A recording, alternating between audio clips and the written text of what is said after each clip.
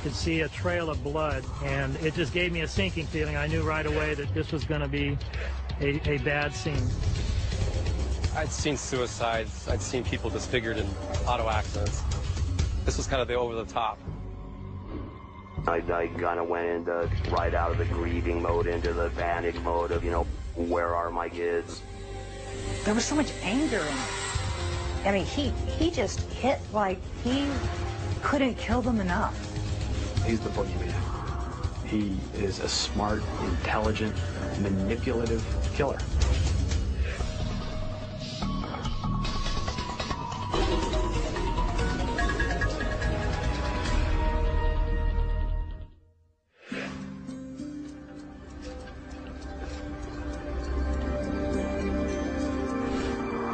Coeur d'Alene, Idaho, a sleepy town known for its rugged beauty. People that come here come here because they love the lakes, they love to fish, they love to hike. Uh, it's a place that makes you feel safe. But on May 16, 2005, Coeur d'Alene loses its innocence in the wake of the most brutal crime the area has ever seen. It's an ordinary Monday afternoon when local police receive a call from a man named Robert Hollingsworth. He's just come from a neighbor's home where he noticed what appears to be bloodstains splattered across the front door. There's blood all over the door. Nobody comes to the door. Not sure what to make of the strange report, the Kootenai County Sheriff's Department dispatches a deputy to check on the residence of Brenda Groene. She lives with her boyfriend, Mark McKenzie, and her three children, 13-year-old Slade, 9-year-old Dylan, and 8-year-old Shasta. It's a family that Deputy Moyer knows well. You know, I drive by and, and Dylan and Shasta would come out to the car and I give them sheriff deputy stickers and they wanted to look in the patrol car and see the lights. But the moment he arrives at the Groene home, he can tell that something's not right. It was very calm and still and there was kind of a, an eerie stillness about the residence. And as I walked up to the front door, I saw the blood on the front door. There was a smell and odor that if you've been in law enforcement long enough, it smells like death. And as I walked around the back and saw a smear on the back door of blood, and the door was ajar. And that initially just sent a chill down my spine. My, my senses kind of went up. And I took a little more precautions. You know, I called for another unit to come back me up. Uh, we walked up to the front door, and I looked into the front door, and I could see a trail of blood. It just gave me a sinking feeling. I knew right away that this was going to be a, a bad scene. Investigators enter the home cautiously with guns drawn. I turned the corner, and there was what appeared to be a young male, uh, face down, uh, female, face down. It appeared to be they were bound, and, and their heads were uh, mutilated. And then I saw the man. I saw the man laying on the floor.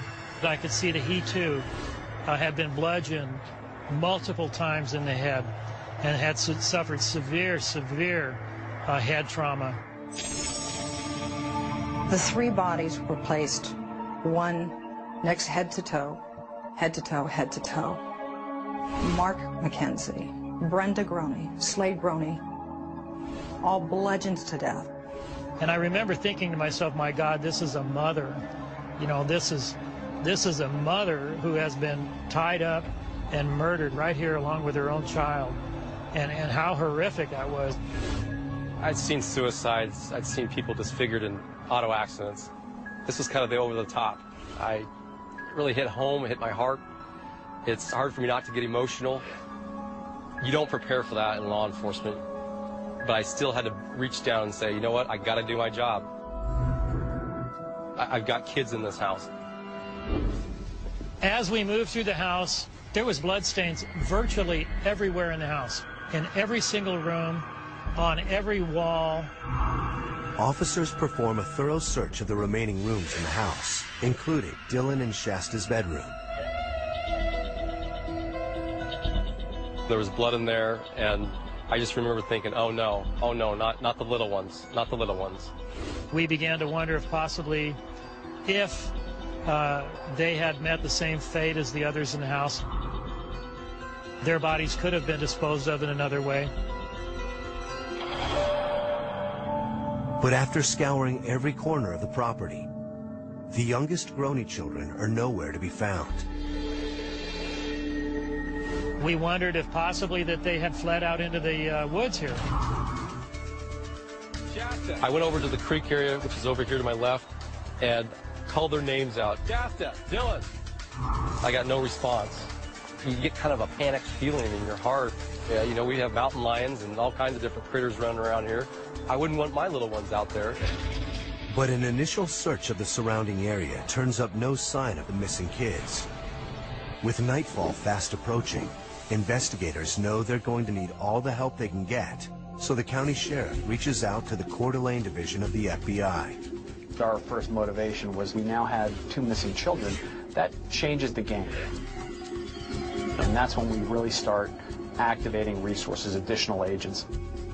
The first clue that jumped to mind were the kids staying with their father, and that was the first door we knocked on.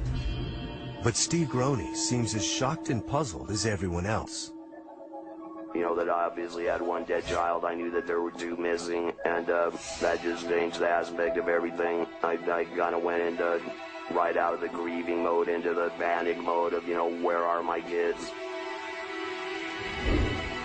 We checked with friends, relatives, any place where they could have been staying. After we exhausted all of those possibilities and they were nowhere to be found, we were very concerned that we had an abduction.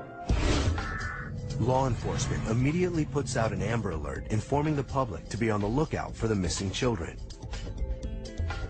The community of Coeur d'Alene joined together and united in a way I've never seen before because they wanted to find Shasta and they wanted to find Dylan.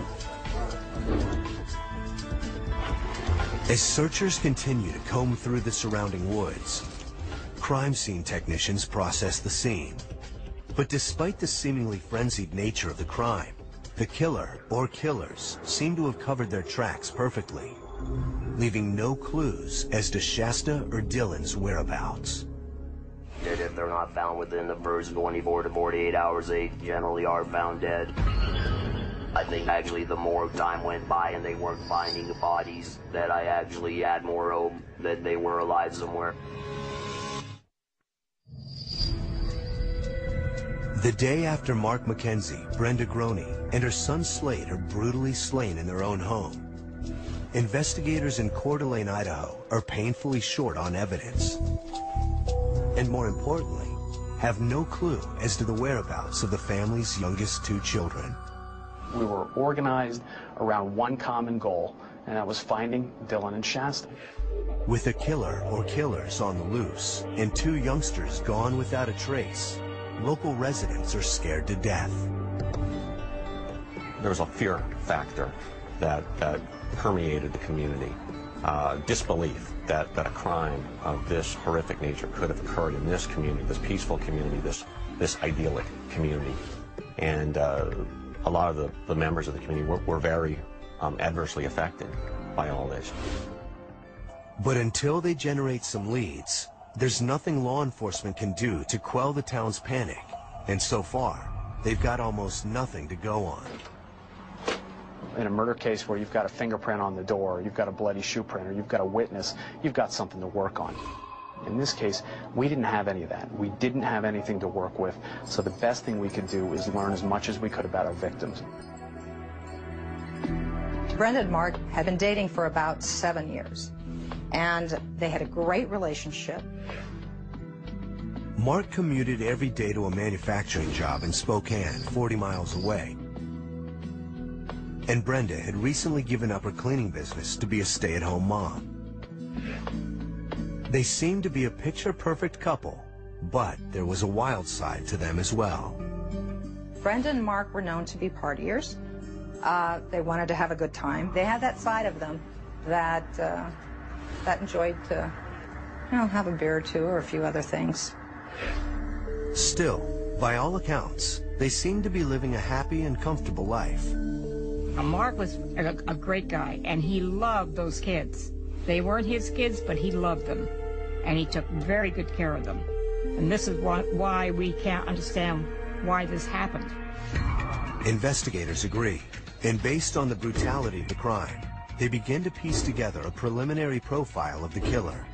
And when you see multiple, multiple impact injuries like that, such violence uh, committed on, upon a person, we're taught that that's a personal, that's a personal killing.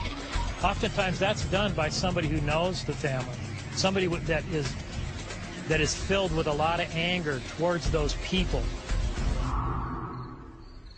But agents struggle to make sense of the kidnapping. Why would you take the kids out of the house, kill the parents to do so? Why wouldn't you take them at a bus stop? Why wouldn't you take them when they're walking to school? So it appeared to be some kind of a revenge motive, um, someone that was close to the family, someone that wanted to get personal, up close and personal to the, to the victims. As the desperate search for Dylan and Shasta goes national, federal, state, and local officials join forces to start questioning potential suspects. One of the first leads we looked at is that father and mother were divorced, father had a separate residence.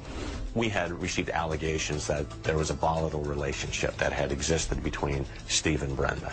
And so we naturally would have to rule Steve out before, you know, we could move on to some other things. Steve also admits that just two days prior to the murders, he and Brenda had a blowout over the kids. Steve and Brenda have had a hard time having a workable relationship after the divorce. We were aware of some ill will that, that existed between them pertaining to child custody as well as some property issues. Then, a televised plea by Steve raises even more eyebrows. Please release my children safely. They had nothing to do with any of this. Everyone that was out there, part of the, the media and, and even law enforcement, were shocked because the statement, they had nothing to do with this. Well, what is this? Investigators administer a polygraph test to Steve and record a strange fluctuation when they ask him if he knows where his children are. And because of that, we did have to uh, continue uh, to, to look into his activities and basically to make sure that there wasn't anything that we'd missed along the way. Groene insists that he was home alone on the night of the murders. At first, investigators are dubious, but what they find next changes their minds. Police were able to kind of look at the cell phone records and my computer records and know that, that I was actually at home on a computer or on my phone. But it isn't long before suspicion falls on another set of family members. Steve and Brenda also have two adult sons, Jesse and Vance, and both have had their share of run-ins with the law. My two oldest boys have, you know, have been in quite a lot of trouble since they were in their early teenage years. Um, a lot of people make reference to their drug problems and stuff like that. Authorities soon discover that Jesse has an airtight alibi, having been incarcerated on burglary charges when the murders took place. Investigators then interrogate Vance and come away convinced he had no involvement either. But questions remain about a possible motive for the killings. We began to uh, get some tips about uh, a barbecue that occurred the, the day prior to the, uh, the killings. So the cops started looking at everyone that was at the barbecue. Did somebody get in a fight? Did somebody owe somebody money? Was there something else that happened that would have made someone at that barbecue turn around and say, I'm going after these guys the next day? We found a fingerprint on the same door that was bloodstained uh, there at the scene. Uh, that fingerprint returned to an individual uh, who we were aware had attended uh, the gathering the, the previous day. His name is Gary Youngwood, and police soon discover he has a criminal record. According to Jesse Groene, Youngwood also owed his mother and Mark $2,000. there was the hope that, that this person would would lead to the resolution of the crime to find out what had happened to the kids. Either either this person may have witnessed something that could help us solve the case, or maybe the person themselves were involved in some way in the crime. But when members of the task force try to locate him for questioning, Youngwood is missing in action. He was difficult to find. Uh, we did uh, serve some search warrants uh, on his cell phone. We began to track him by cell phone. There was a, a considerable amount of resources that were spent in locating this person and and discovering what it is that he knew. A follow-up call to Youngwood's parole officer reveals that the day after Brenda Groene, Slade Groene, and Mark McKenzie were bludgeoned to death, Youngwood notified her that he was leaving town for a short vacation in Boise. One of the thoughts is that he is he's avoiding contact with us because he knows something.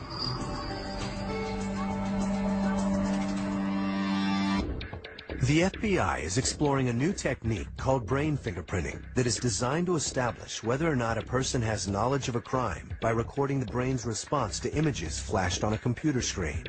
Some believe brain fingerprinting may someday be used like lie detector tests in criminal investigations. Nearly 48 hours after the triple murder in Coeur d'Alene, Idaho, law enforcement is working hard to track down Gary Youngwood, whose fingerprints were found on the victim's bloody front door.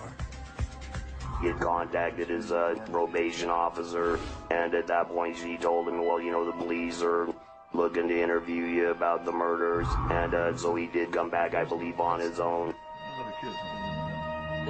Investigators grill Youngwood for hours, but he denies having anything to do with the murders or Shasta and Dylan's disappearance and he offers to take a lie detector test to prove it. I just, I, a friend of mine called me.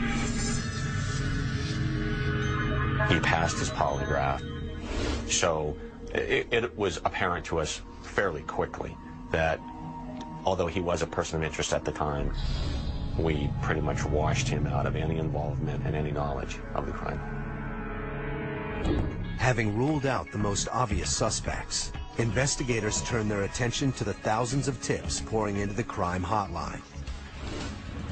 One allegation was that this was a biker hit, and so we started looking at biker gangs. Maybe there was some sort of vendetta that existed. Maybe there was money owed. Maybe you know somebody insulted someone else's girlfriend. Uh, who knows? And when the medical examiner identifies the murder weapon, it gives the biker gang theory even more credence. The weapon used to bludgeon the victims appeared to be a hammer with a cross-hatched face on it. And that is the sort of hammer that you would find as a, as a framing hammer or as a drywall hammer. Some gang expert threw out the fact, well, you know, if they were killed with a hammer, that sounds like outlaw bikers. Was this a biker gang that rolled through town? We just didn't know. Brenda Groene was into motorcycles. So when we started getting these allegations of a potential biker hit, um, it, you know, it made a little bit of sense to us. But investigators can't link any particular biker gang to the scene. And it doesn't make sense that they would take the children, who have now been missing for almost three days. I never gave up hope that we would get the children back in this case.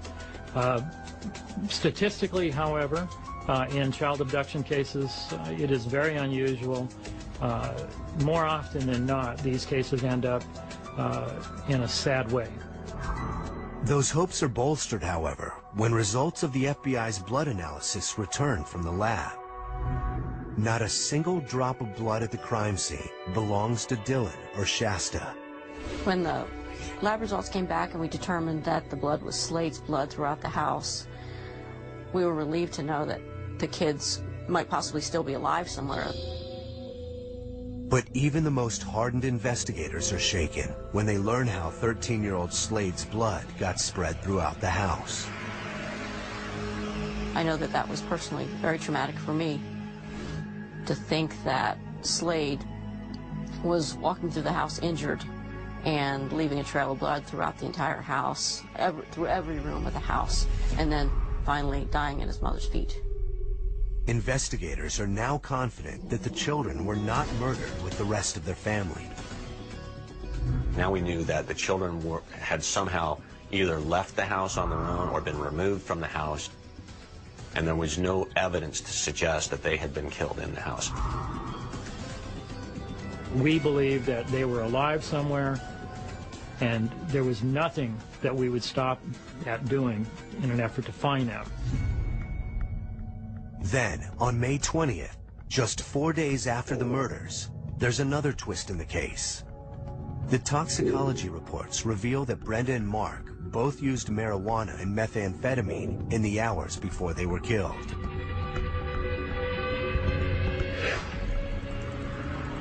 Are there any violent drug gangs who would do a crime like this if they were owed a debt that wasn't being repaid? Could it be somebody that happened upon the house who was high on drugs, taking uh, drugs and unleashed a lot of violence on the family so quick that they couldn't do anything about it at all. Scouring their criminal databases for answers, federal agents stumble upon a local skinhead gang that's been breaking into people's homes and robbing them at gunpoint. Well, maybe this, this home invasion group broke into the house, bound the victims, and when they discovered there was no money and there was no drugs, um, decided to take it out on the victims. We were pretty optimistic that we may get something out of, out of focusing on this particular group. But what we couldn't explain was how did the children factor into this? Everything else looked good, but when we got back to the children, they were an anomaly that could not be explained. The FBI consults its narcotics informants to find out if there's been any talk of the murders in drug circles, but the lead quickly goes cold.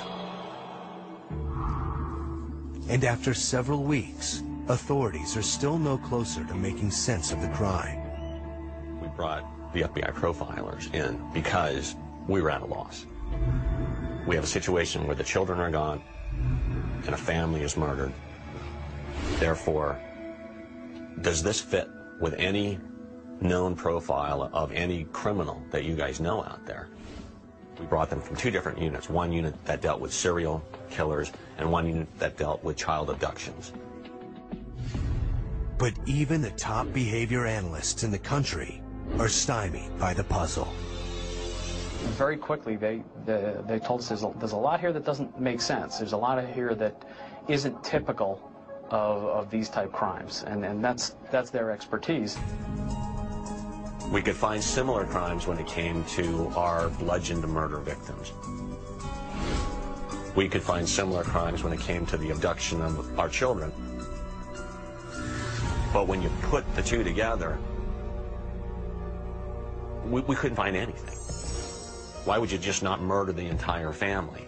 And so we, we kept coming up with all these theories as to why someone would take two children from the house. Was it to hold them for ransom? Was it to sell them into slavery? The one thing they left us with, though, is the key to solving this crime is answering the question, what happened to the children? If you can find out why the children were taken, then you will solve the crime.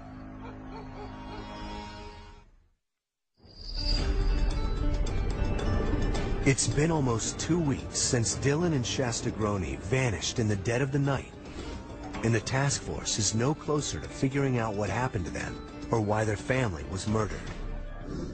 Yeah, I had high hopes still that they were alive. I just didn't know whether I would ever see them again in my lifetime. My one thought was, my God, I hope they're alive. But as time went by, it got worse and worse, where I, I was more and more sure that something had happened to him. By the end of May, there are 150 federal, state, and local investigators toiling around the clock and working every angle. I was running on very little sleep, uh, as was most all the investigators in the case. I don't think many of us slept any more than a couple of hours a day for probably the first 10 days of the investigation. Two more weeks go by, and despite the heavy news coverage, the case is going nowhere. Until a local woman comes forward with a promising new lead. On the night that Dylan and Shasta's family was murdered, she was traveling between Coeur d'Alene and Spokane sometime after 2 a.m. She told us that she saw the vehicle, a dark-colored vehicle. She believed it was a Lincoln, uh, pull off on the highway just to the east side of the crime scene. She believed she saw three male adults in that car. She called that in because she thought possibly that car may have been uh, involved in a crime. At first, the lead doesn't seem very promising, until investigators discover that the spot where the three men pulled over is less than a mile from the home where Brenda Groene, Slade Groene, and Mark McKenzie had just been bludgeoned to death. Uh, shortly afterwards, we received another informant. Uh, that particular informant uh, came forward anonymously, and he felt that his uh, associates uh, had been involved in something very serious. He thought that he overheard them talking about possibly placing some bodies in some abandoned mine shafts over in the Silver Valley. The tipster gives the names Mike Hardwell, Ray Nando, and Ben Westerly. Detectives soon learn that two of the men have a criminal record, and another striking detail rises to the surface. We found that they drove a car very similar uh, in description to the one that the uh, lady had called in previously. Uh, when we did some analysis of their cell phone activity, we noticed that there was indeed some cell phone activity in the area of the crime scene on or about uh, the time of, of the crime. After almost two months of fruitless searching, it seems the task force is finally closing in on a viable lead. But just as they're setting up surveillance on their suspects, the case takes a stunning turn. When the phone rang at 2 o'clock in the morning, Saturday morning, I wasn't quite prepared for what I was going to hear. I couldn't believe it. I refused to believe it at first and even said, you have got to be kidding me. FBI agents are quickly brought up to speed on a local waitress who has a shocking story to tell. I had just come back from my break. I automatically checked my section, and I had noticed um, two new people in my section. I get a clear view of the little girl. It was an in instantaneous, oh, oh, my God, is that Shasta? She remained um, with her head down. Her, her hands were in a prayer position, stuck between her legs. Her whole body language just screamed, help me. Hey, how are you guys doing tonight? But the waitress doesn't miss a beat. She takes their orders, then sneaks to the back of the restaurant and tells her manager to call 911. I saw the squad car pull up. I walked out, and as soon as the officer stepped out of his vehicle, I told him he was going to need to call for backup. I was positive it was her, and he was going to need more help. When backup arrives, the police cautiously enter the restaurant and escort the man without incident to their squad car. The officer had grabbed my elbow, and all he said was, stay with her. I said, honey, what's your name? And she said, Shasta Groene, and she just started bawling. When we first got the call that Shasta was found, I was elated. I, I was ecstatic. Although we had so many questions. Who was this person that, that Shasta was found with? Where's she been this entire time? Was this a person that just found her wandering on the street? Was she, was she dropped off? Uh, it, it, it was unbelievable. And, and of course, all of us wanted to know where was Dylan. Shasta's rushed to the hospital for evaluation. And after a harrowing two months, Steve Groene is reunited with his daughter. Kind of, you know, laid my head on the pillow next to her and was, she eventually kind of opened her eyes and said, Daddy, and gave me a big hug. At the command center, investigators interrogate her companion. He is identified as 42-year-old Joseph Edward Duncan III from Fargo, North Dakota. I thoroughly expected uh, to find that this was going to be one of the many, many names that we had dealt with in the investigation. And when they told me the name, Joseph Edward Duncan III, I was perplexed. I had never heard that name. And I can recall saying, who? We start doing all our record and database checks, and we come to find very quickly that he's a level three sex offender who is um, out, a fugitive from a molestation case back in Minnesota. Level 3 sex offenders pose a potential high risk to the community because of their history of sexual assaults. In fact, Duncan's first recorded sex crime occurred in 1978 when he was just 15 years old. Two years later, he was sentenced to a Kansas City prison for molesting a teenage boy. There he was diagnosed as a sexual psychopath and underwent years of intensive psychological evaluation. On the surface, he seemed to be showing signs of reform until 2004, when he was charged with sexually molesting a six-year-old boy at a playground in Detroit Lakes, Minnesota. But Duncan was not ready to go back to jail. He managed to borrow $15,000 for his bail and immediately left town. He had a web page where he wrote extensively about society's persecution of sex offenders. He knew he was going back to prison for the molestation in, in Minnesota, and uh, he made a decision. He decided I can either stay here, try and fight the case and risk going to prison, or I can go on the run, take whatever money I have, and I can live out my ultimate fantasy. That was his goal. His final blog entry, written just before the murders, is especially menacing. In it, he rants about striking out at society. But Duncan's motives no longer interest investigators. Their sole concern now is the whereabouts of Dylan Groene. I did make an attempt at uh, interviewing Mr. Duncan. Uh, however, Mr. Duncan invoked his uh, Fifth Amendment right to silence. Determined to find Dylan, investigators search Duncan's vehicle and discover a treasure trove of evidence. The shotgun, Duncan's laptop computer, his GPS device, uh, an empty package that uh, the plastic zip ties had been in. A key piece of evidence was a, a small microdrive, a 4 gigabyte microdrive that um, contained a lot of um, still images and video images of the children while they were in captivity. And so the investigation uh, then ramped up tenfold in an effort and in a belief that Dylan may still be alive. But they're unable to find the murder weapon or anything that might lead them to the missing boy. And I still had hopes that they were going to find Dylan alive somewhere. Running out of options, police turned to the only other person who may have information on Dylan's whereabouts, his sister Shasta. We assigned an investigator to conduct interviews with Shasta to get the full story from her to try to assess whether or not she had actual knowledge or not.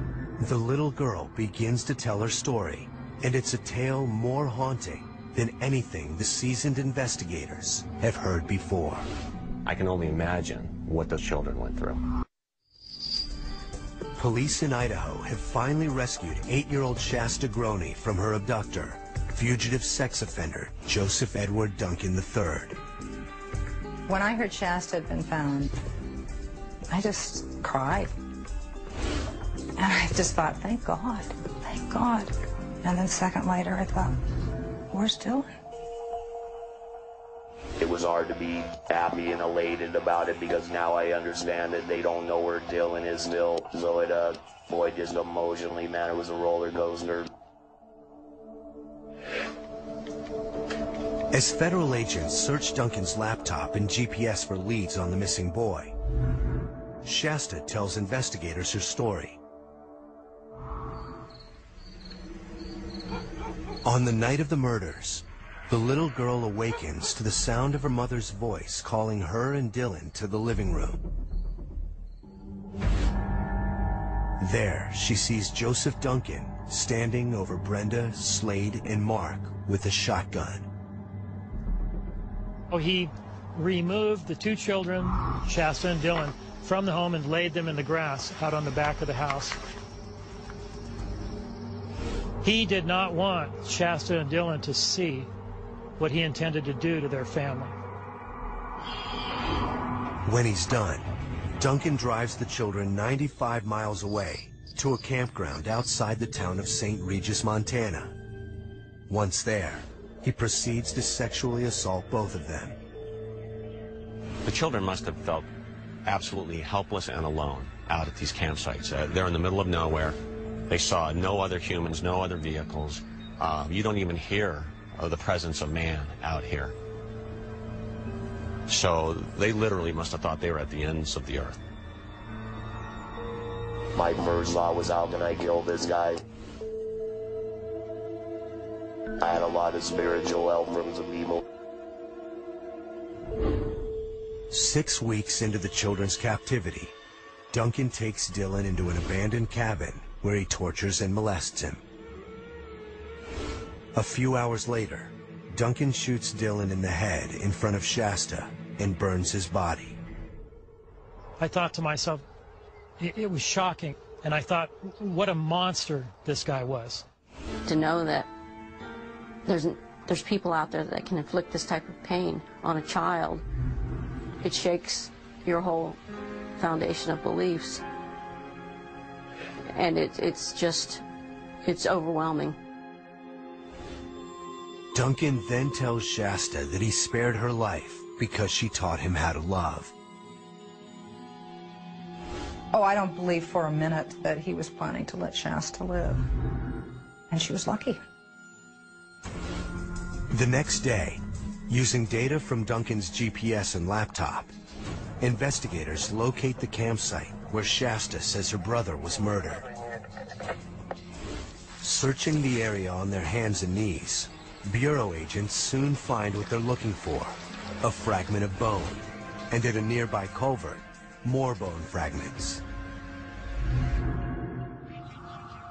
When they told me they had conclusive evidence that Dylan had been murdered, I, I pretty much lost it. And that just broke my heart. You know, Dylan was such a, a loving, uh, tender-hearted kid, and uh, eventually find out all the things that he went through during that period of time. That, that was hard to take. When investigators confront Duncan with all the evidence against him, he finally confesses. He wanted society to know how bad he was. He wanted to make sure that, that society was harmed or injured by what he had done. He had two goals. His goal, again, was to live out what he thought his ultimate fantasy was, which apparently involved murdering and assaulting children, and to exact revenge on society. Revenge against what he thought society had done to him as a registered sex offender. Duncan goes on to tell authorities how he prepared extensively for his crime. He, starting uh, before he ever even left North Dakota, he started assembling equipment and items that he would need. Heading west, Duncan goes hunting for targets. Once he reaches Idaho, by sheer chance, he comes across the Groene home. As he comes down this hill, one of the first homes, he sees Shasta playing in the front yard and surveils the house.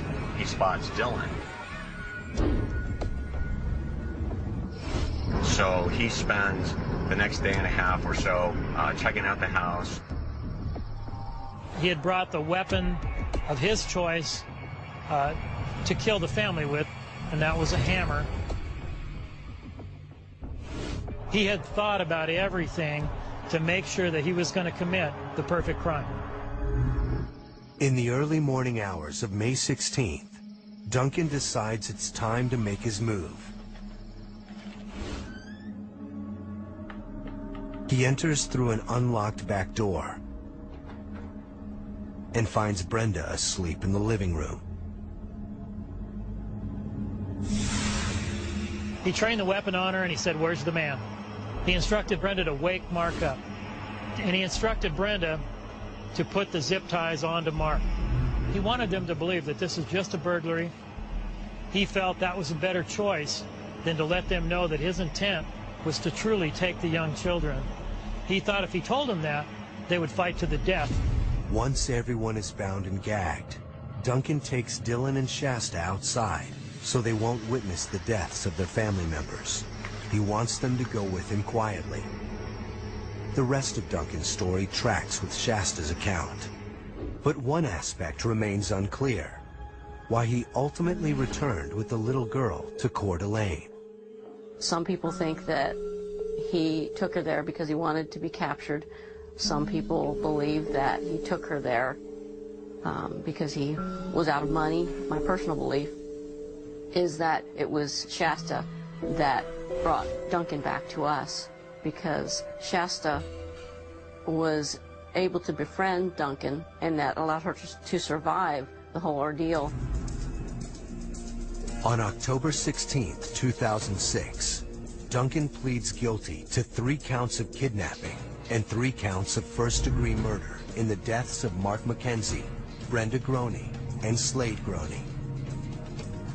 He receives six life sentences. Then, on December 3, 2007, Duncan pleads guilty to 10 federal charges in connection to the kidnapping and sexual abuse of Dylan and Shasta and the murder of Dylan. I was not surprised that Duncan pleaded guilty. I think he's a coward. I don't think he wanted to get up on the stand and have to testify. And I was so pleased that he, he had pleaded guilty so that we wouldn't have to go through the hell of going to court every day and seeing this man. Almost three years after the horrific crimes in Coeur d'Alene, Duncan receives three additional life terms, plus three death penalties, and is sent to the Terre Haute Federal Prison in Indiana to await execution. Not a lot about what I would say. No, that's.